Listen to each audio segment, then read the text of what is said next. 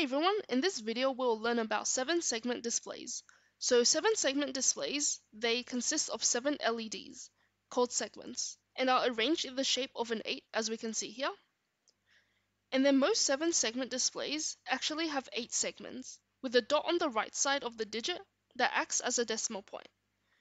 So here is our number 8, or our 7 segment display, each of the lines or segments, they actually have their own corresponding letters, and they go in a clockwise direction.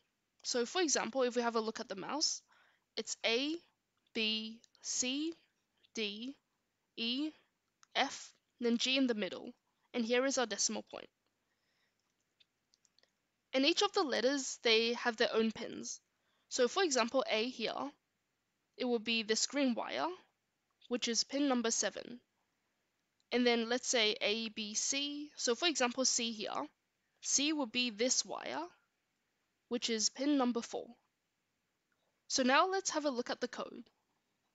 So we would firstly assign each of the letters to their pin number. So A would be 7, B would be 6, C would be 4. Then onwards. Then we have setup. So we initialize the digital pins as outputs. So pin A, output, pin B, output, and then onwards. Then inside the void loop, so I've gave it a go for 0 to number 5. But of course we can have as many numbers as we want and as many letters as we want. But I'll go through the number 0 as an example. So remember how each of the segments or lines, they actually have their own corresponding pins? So if we trigger these pins, the LEDs will light up at that spot. So, for example, if we picture it, the number 0, it would just be the borders of the number 8, right?